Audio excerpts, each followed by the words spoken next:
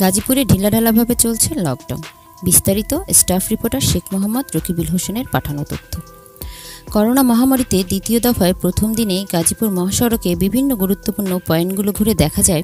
জনসাধারণ মনে করোনা মহামারীর কোনো প্রকার প্রভাব বিস্তার করতে পারছে না। তাছাড়াও সরকারিভাবে বিভিন্ন নির্দেশনা দেয়া থাকলেও কেউ তা মানছে না।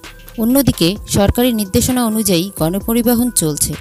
বিধিনিষেধ থাকলেও গাজীপুর মহানগরী বিভিন্ন গুরুত্বপূর্ণ পয়েন্টগুলো ঘুরে দেখা যায়, গণপরিবহনগুলো শুধু চলছেই না, বরং পাঁচ থেকে সাত গুণ করে বেশি ভাড়া আদায় করছে।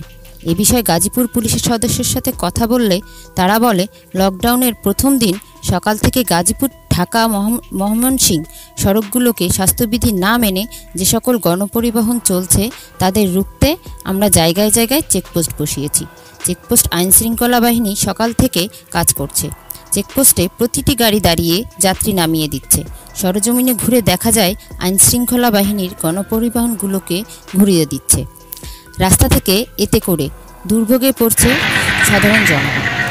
সাধারণ যাত্রীদের অভিযোগ, বাড়তি ভাড়া দেওয়া সবার জন্য খুব কষ্টকর। তারপরেও এক প্রকার বাধ্য হয়েই বাড়তি ভাড়া দিয়ে চলাচল করতে হচ্ছে।